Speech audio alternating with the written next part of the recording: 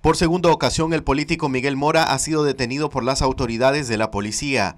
Esta vez el operativo fue fundamentado por el gobierno en base a la ley 1055, Ley de Defensa de los Derechos del Pueblo. Eran como, como una como una 8 o 10 patrullas, como unas 7 o 8 patrullas, no me acuerdo. ¿No y en ninguna cada explicación? una- No, y en cada patrulla había como si esto estaba rodeado porque, porque, o sea, a él, cuando él abre la puerta, pues lógico, lo empujan, lo, encañonan, lo esposan, se lo llevan, lo montan y todo, pero como se quedan un montón y, y estaban, continuaban pues agresivos, violentando, entonces yo les pegaba gritos diciéndole de que, de que recordaran de que yo tengo un niño especial y que si mi niño convulsionaba yo lo responsabilizaba a ellos, a este régimen de cualquier cosa que le pueda pasar a Miguelito.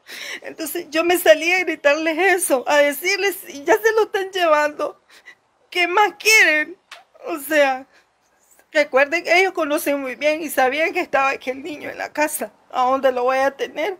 Chávez se mostró preocupada porque aseguran no tener información precisa del sitio a donde fue trasladado su esposo. Yo lo único que me presenté en horas de la mañanita fue preguntar si a él lo tienen ahí, porque prácticamente es un desaparecido, porque como no te dicen nada, no te dicen, lo llevamos, hay una orden, entonces, y hay uno deduce, como a todos, que se lo pudieron haber llevado al chipote. Entonces ahí es donde yo voy a preguntar.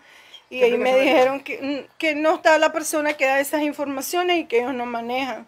Entonces digo, yo voy a ir más, no sé, pues, yo dije, no, no me dieron explicación, pues yo dije, voy a llegar eh, otro día para ver, pues, esperar que pasen unas horas, pues, porque lo que uno quiere saber es si él está ahí, porque ni siquiera sé a dónde está.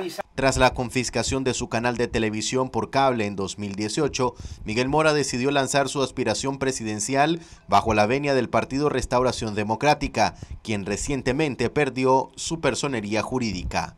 Marcos Medina, Noticias 12.